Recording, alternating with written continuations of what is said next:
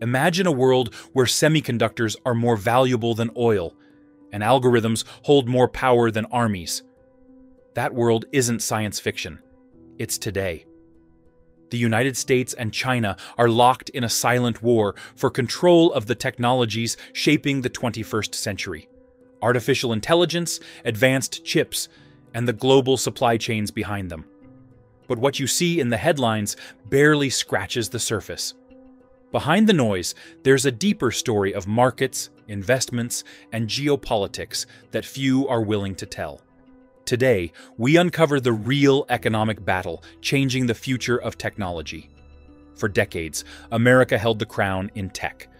Companies like Intel, Qualcomm, Microsoft, and later Nvidia defined the modern digital economy. The US dominated chip design, operating systems, and cloud computing, turning Silicon Valley into the financial powerhouse it is today. But in the last 20 years, China emerged as a challenger, not only producing cheaper hardware, but also pouring massive state backed investments into semiconductors, AI, and telecommunications. Huawei became the symbol of this rise, once overtaking Apple in smartphone sales and building the infrastructure for 5G networks across dozens of countries. From Washington's perspective, this wasn't just competition, it was a threat.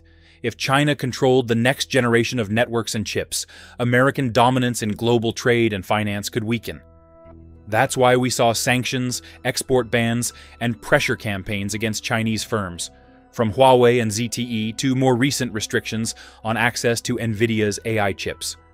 But here's the twist every restriction sparked a countermove. Instead of stopping China's progress, these bans pushed Beijing to accelerate its domestic programs. Billions were redirected to companies like SMIC, Yangtze Memory, and other chip makers trying to close the gap. The result? A tech rivalry that now looks more like an economic war.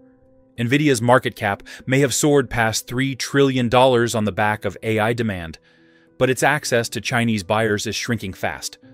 Huawei, written off by many just a few years ago, has bounced back with competitive smartphones powered by its own chips, and is pushing aggressively into AI servers. Meanwhile, Intel, once untouchable, is caught in the middle, losing ground in both consumer and data center markets, while facing a resurgent China and a dominant Nvidia. And here's where the story shifts from technology to finance. Investors are watching this rivalry like a high stakes poker game. Every new sanction, every breakthrough chip, every supply chain disruption sends shockwaves through global markets. Share prices swing, capital flows shift, and entire industries autos, cloud computing, defense adjust their strategies. What started as a battle over microchips is now reshaping how money moves across the planet. So, when you hear about chip shortages, Huawei's new processor, or Nvidia's explosive earnings, it's not just tech news. It's a window into the broader conflict, a clash of economies, investment strategies, and geopolitical ambitions.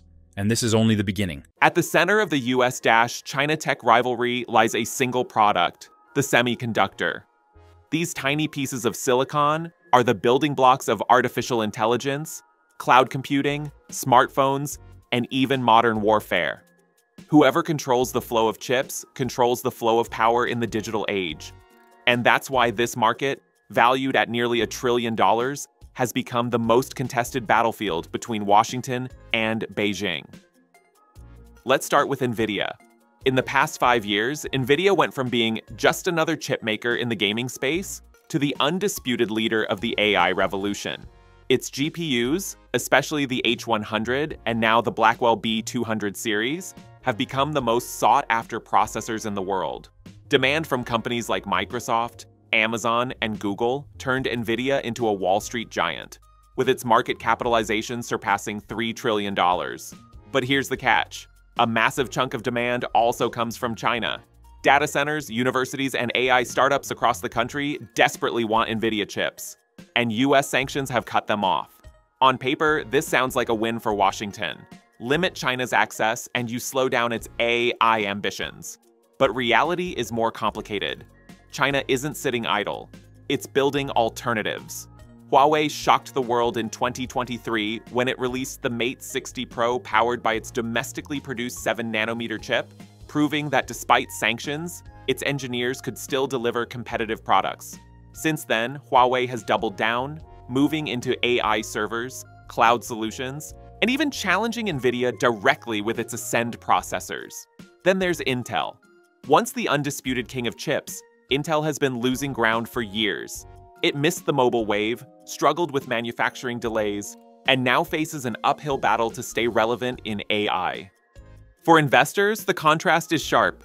Nvidia stock skyrocketed, Intel stumbled, and Huawei, though not publicly traded, has gained prestige and market influence that rivals its American competitors. For global markets, this rivalry means volatility. Taiwanese foundries like TSMC, South Korean giants like Samsung, and Dutch firms like ASML all find themselves in the middle. Supply chains are being redrawn, capital is shifting. Investors are betting not just on who makes the best chip, but on which geopolitical bloc will dominate production, distribution, and regulation. This is why semiconductors are often called the new oil. They fuel economies, attract investment, and determine strategic independence. And as the US and China clash, the rest of the world is forced to choose sides or risk being cut out of the digital future altogether.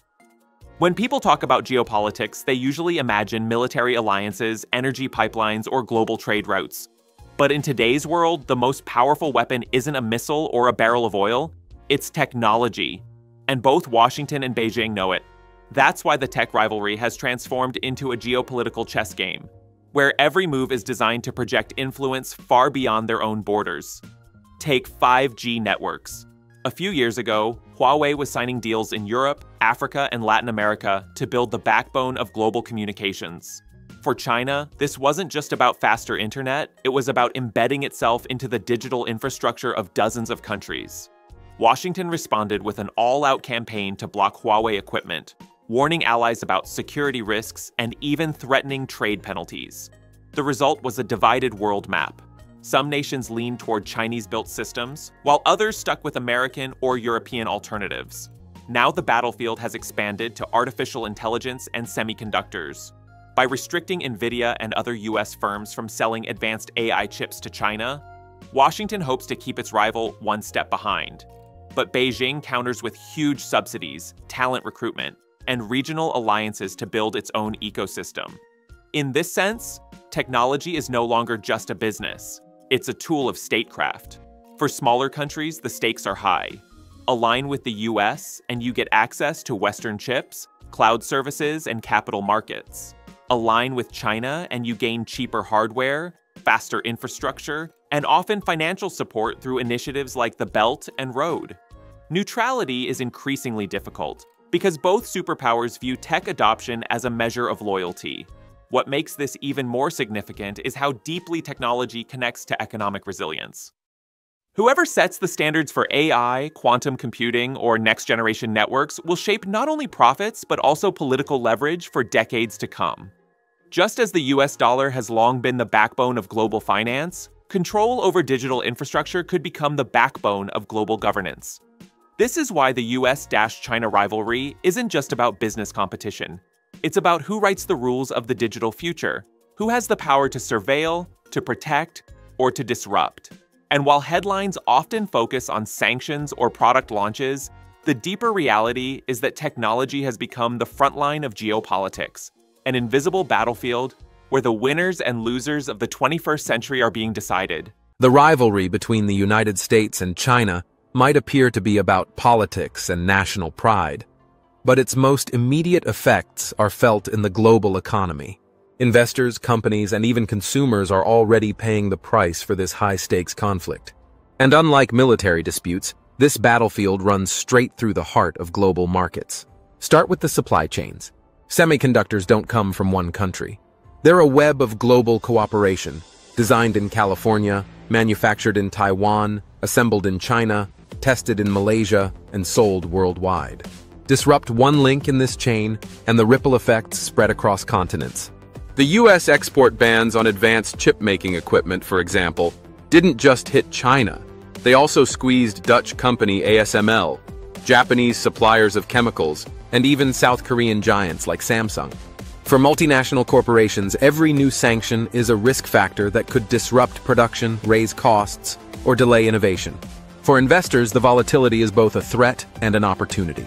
Nvidia's stock soared on the back of unprecedented AI demand, but each new headline about China restrictions adds uncertainty.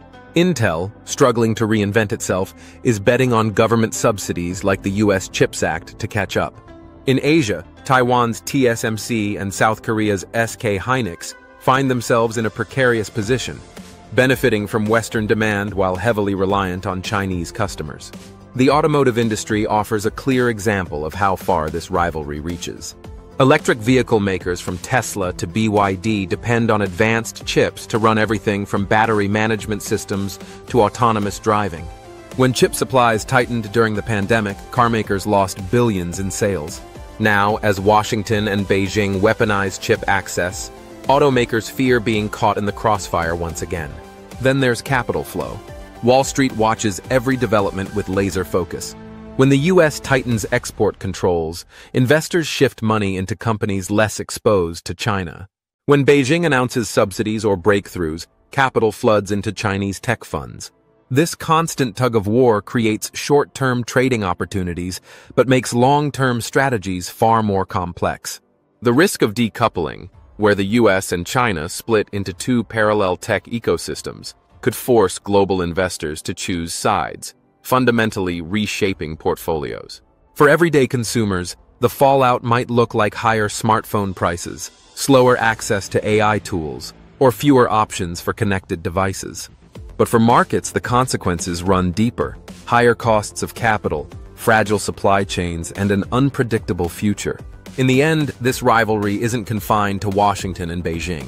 It's a storm shaking the entire global economy. When we step back and look at the bigger picture, one thing becomes crystal clear. Technology has become the new oil of the 21st century. Just as control over energy shaped the geopolitics of the last century, control over chips, AI, and digital infrastructure will define the balance of power in this one. The rivalry between the United States and China is not just a headline. It's the foundation of the world economy we will all live in for decades to come. Every investor, every company, and even every consumer is now part of this story. From Nvidia's skyrocketing stock to Huawei's defiant comeback, from Intel's struggle to China's relentless push for self sufficiency, the competition isn't slowing down. If anything, it's accelerating. And the choices made today by governments and corporations alike will shape markets, jobs, and investments for generations. That's why it's so important to stay informed and see beyond the surface level headlines. On this channel, we dig deeper into the economics, the strategy, and the real consequences behind global events. So if you found this breakdown valuable, Make sure to hit the like button, subscribe to the channel, and turn on notifications. Because the next chapter in this story is already being written, and you won't want to miss it.